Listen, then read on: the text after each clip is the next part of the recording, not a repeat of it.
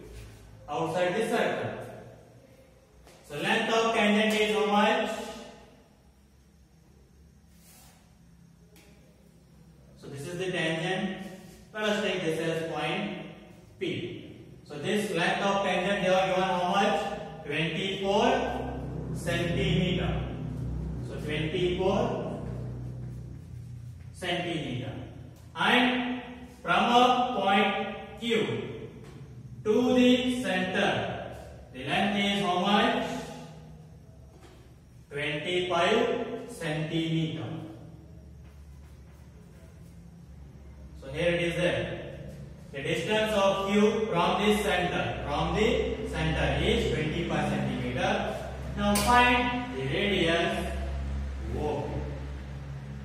So how will find that now? So this will become 90 degree or by the theorem 1. The radius and the tangent perpendicular to each other. So now this will become a right angle triangle. So use the Pythagoras theorem, you will get the answer. So let us see. by the Pythagoras theorem. So what you can write? The side opposite to the right angle will be the hypotenuse. So here OQ is the hypotenuse. So square on the hypotenuse that is OQ square which is equal to sum of the square of the other two sides that is OP square plus PQ square. So here what we need radius OP. So keep that in the RHS only bring PQ square to the LHS. So OQ square minus PQ square which is equals to OP square. So now what you your homework are given? 20 pi. So 20 pi square minus PQ do, are given 24. So 24 square which is equals to OP square. So now 25 square 6 25 minus 24 square 5 76. So which is equals to OP square. So now 625 minus 576. How much you will get? 49. Which is equals to OP square. Therefore OP is equals to root of 49. Remove the square that will become square root. So now OP is equals to square root of 49 is 7. So therefore, what is the answer? Radius is how much? 7 centimeter. So the option A is correct one. That is 7 centimeter. So this is about the solution of first question. We'll see the next question.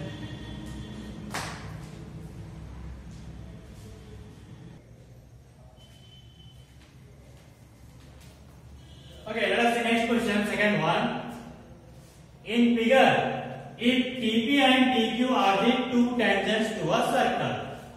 So TP and TQ are the two tangents to a circle with center O so that angle POQ, POQ is how much? 110 degree. Then angle PTQ is equal to how much we need to find? Angle PTQ. This angle is how much we need So how we need to find that? So here OPTQ, it is of which shape? Quadrilateral. So what is the angle sum property of a quadrilateral? The sum of all four angles of a quadrilateral is equal to how much degree? 360 degree. So use that one, you will get that answer. But for finding that, we don't know the these two angles. So what are the these two angles? These are 90 degree both. Alright. The radius and the tangent perpendicular to each other. Therefore, these two angles are 90 degree. Now use the angle sum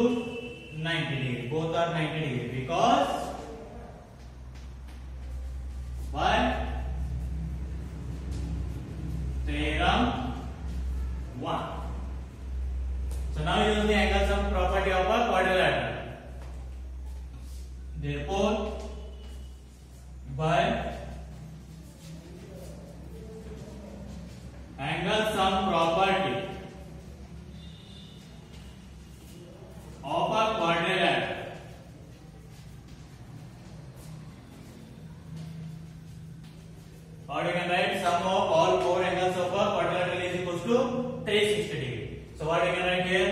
Angle TPO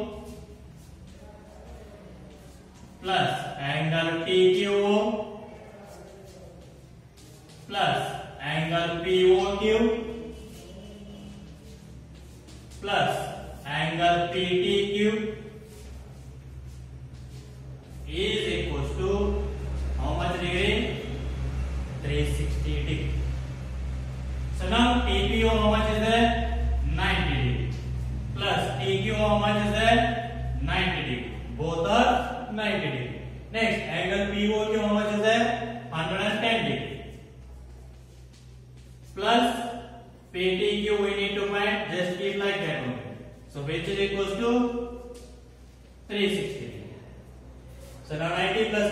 plus 90, 180. 180 plus 110. So 290 plus angle PTQ is equals to 360. Now take 290 to the RHS. That will become subtraction. So PTQ is equals to 360 degree minus 290 degree. So angle PTQ A is equals to 360 minus 290. How much you will get? 70 degree. So the angle BTQ is equals to how much degree? 70 degree. So the option B is right. That is 70 degree. So this is about the solution of second question. Now Let us see the next question.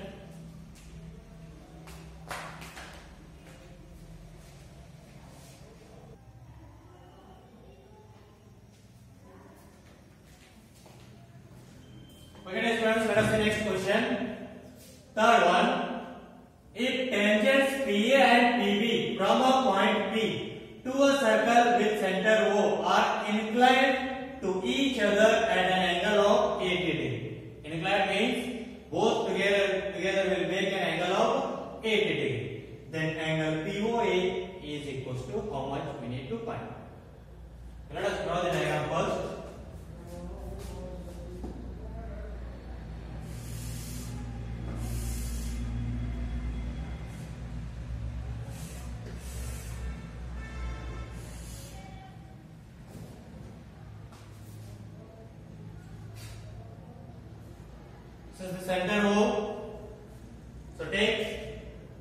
point P outside the circle from a point P PA and PB are the two tangents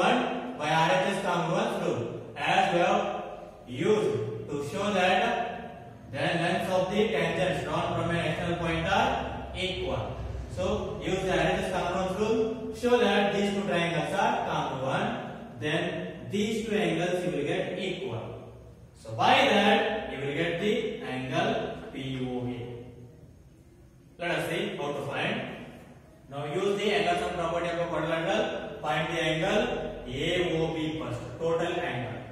So here now angle PAO,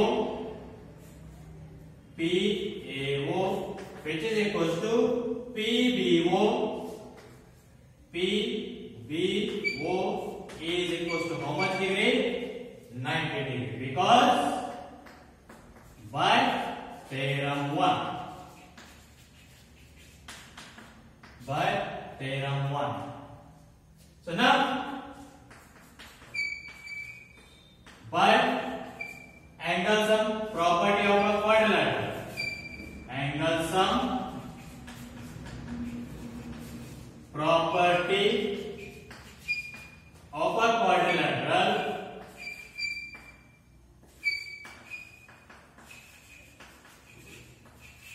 So what I can write? Sum of all four angles of a quadrilateral which is equal 360 degree. So write that angle P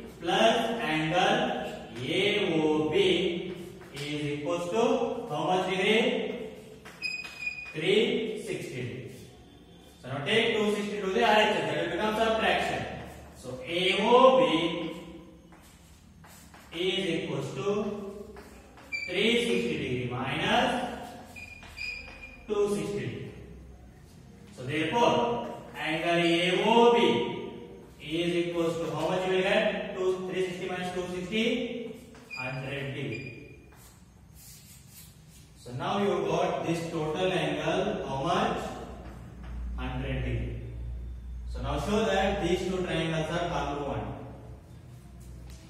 Now, in triangle.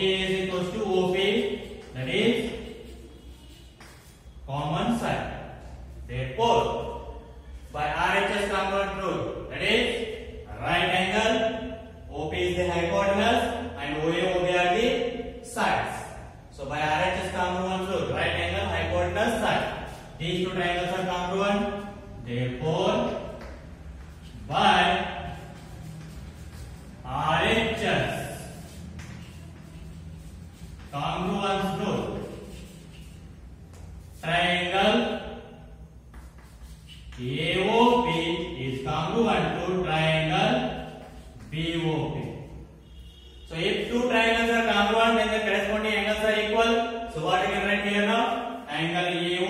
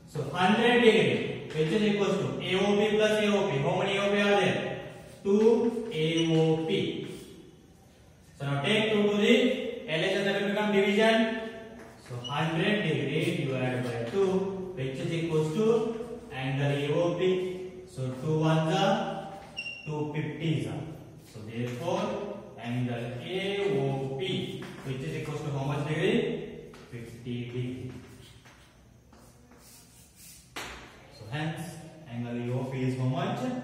50 degree. So the option A, 50 degree is the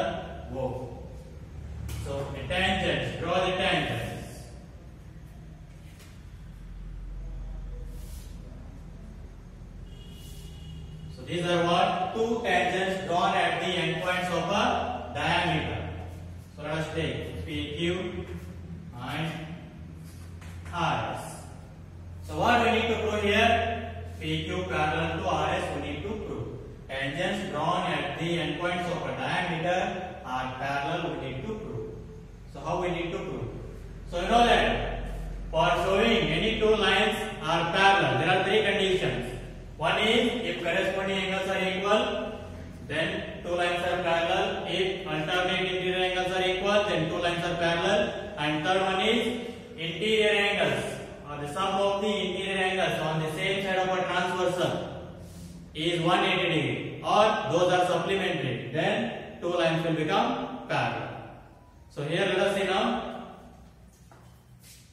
So PQ and IS are two tangents at point A and B. Let us write that.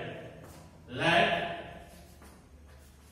PQ and RS are the two tangents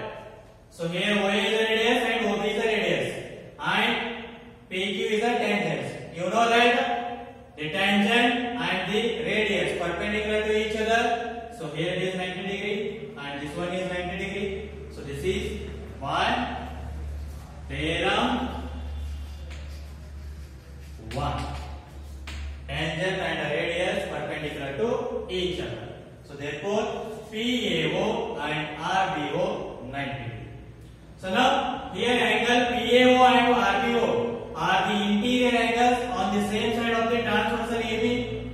Now let us find the sum of those triangles how much you will get. So here PAO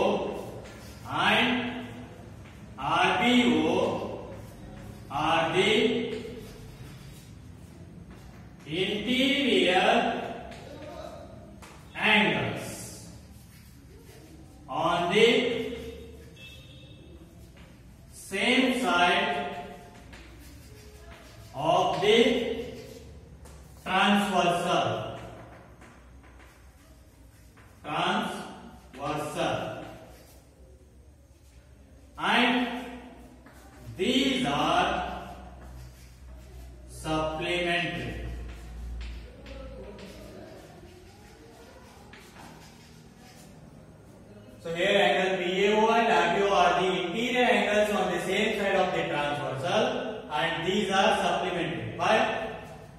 Because see here angle PAO plus RBO which is equals to PAO 90 degree plus RBO 90 degree which is equals to 180 degree we get. So these are supplementary.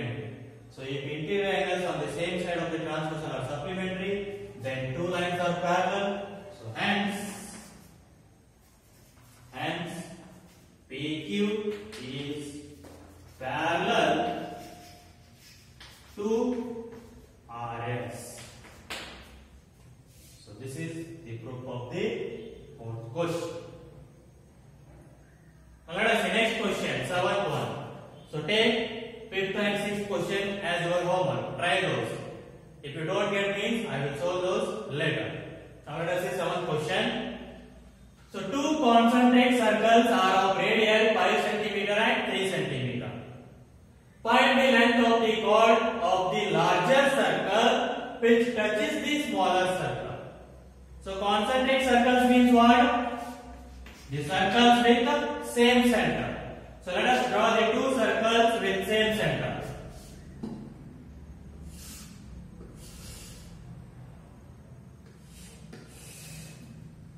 this is the one circle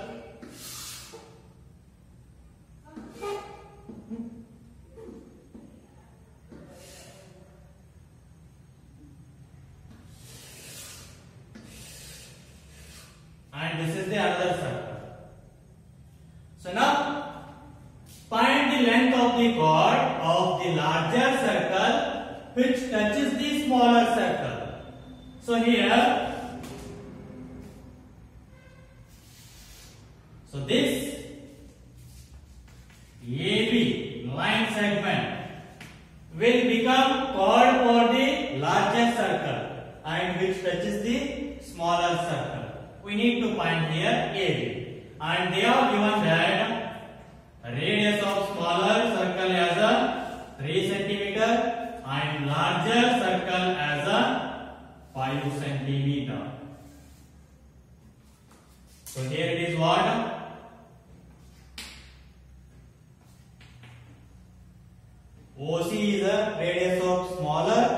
circle and OA is the radius of bigger circle.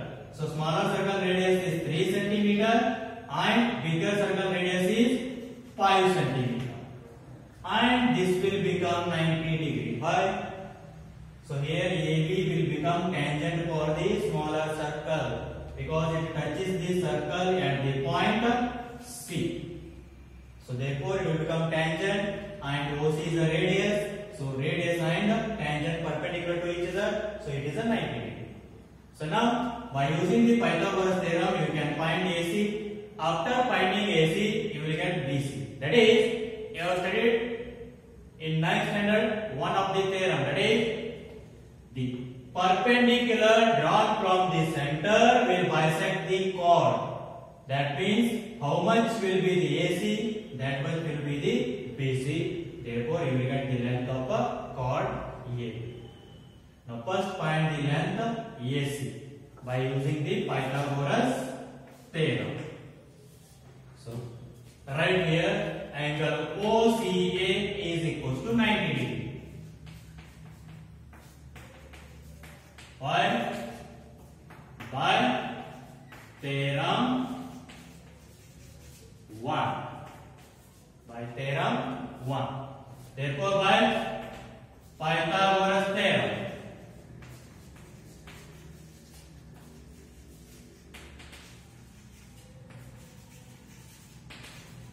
by the Pythagoras theorem. So the side opposite to the 90 degree will be the hypotenuse. So here hypotenuse is OA. So square on the hypotenuse which is equal to sum of the square of the other two sides that is OC square and AC square.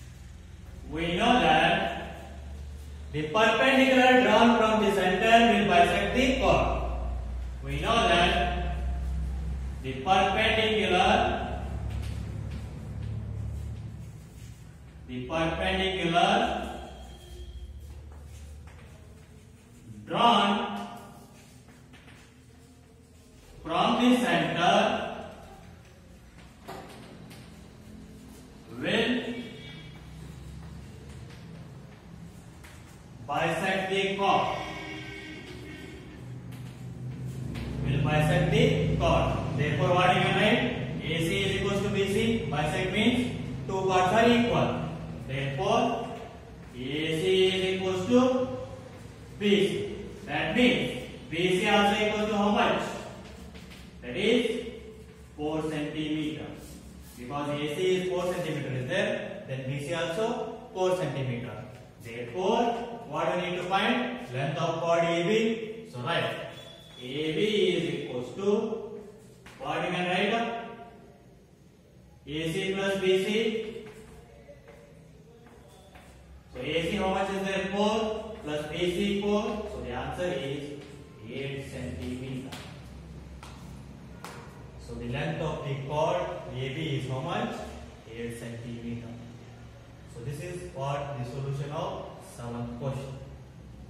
We try to solve the homeworks. We'll continue in the next class. Thank you.